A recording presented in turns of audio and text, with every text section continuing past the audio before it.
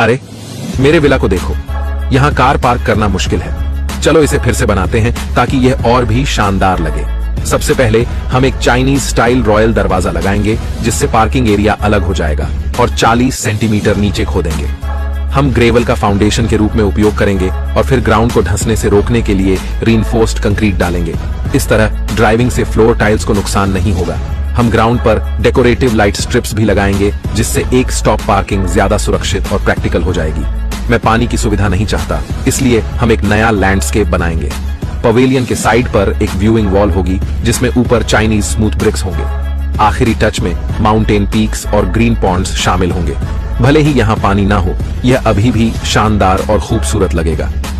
हम एक आरामदायक कोने वाला एरिया बनाएँगे, जिसमें तीन स्टेप्स और एक रेस्ट प्रोटेक्टिव प्लेटफॉर्म होगा।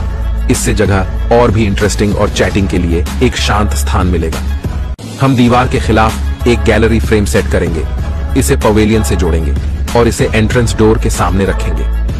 पाइन ट्री छाया देगा और हवा और रेत को रोकने में मदद करेगा। ये डिज़ाइन कैसा लगा? मुझे लगता है कि ये आपके पड़ोसी को ज़रूर जलाएगा।